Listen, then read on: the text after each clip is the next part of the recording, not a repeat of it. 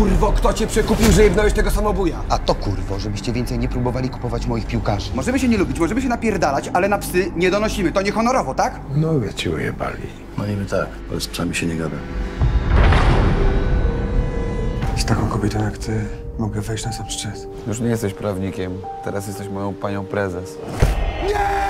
Możesz być zupełnie szczery.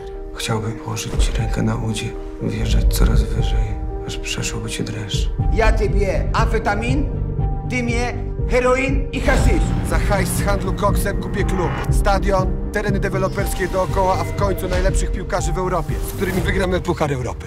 Jak to jest możliwe, że ośmiu policjantów nie dało panu rady? Otoczyłem ich. Co to kurwa jest? Kościotrup grubego. Chcieliśmy zrobić ci niespodziankę i wykopaliśmy go w rocznicę. Wypierdalać tym z powrotem na cmentarz. Ty policjant, ona prawniczka. Jesteście parą od dwóch lat. Brat? Policja. Ruchałaś się z nim? My tylko udajemy. Długo tu stoisz? Wystarczająco, żeby wiedzieć, że nie staje ci do wszystkich dupa, nie tylko do mnie. Premia będzie? 100 tysięcy. Albo wpierdol. Pokażę wam, co spotka każdego z was, kto najebie się w trakcie rozgrywek. Może w ramach terapii ci wypierdolę. Może najpierw jakieś kwiaty? Czego ty ode mnie chcesz? Mogę zamknąć cały stadion. Beze mnie nie istniejesz. Zwycięży orzeł biały! Zwycięży polski lud! Wkurwiłeś prezydenta, wkurwiłeś Radę Miasta, wkurwiłeś całe miasto.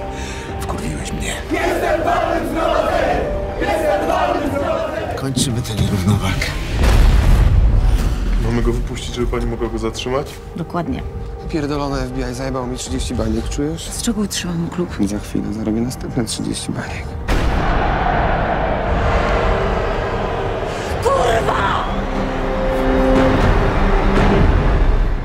Alpaga tak jak chciałeś. uczta włodza.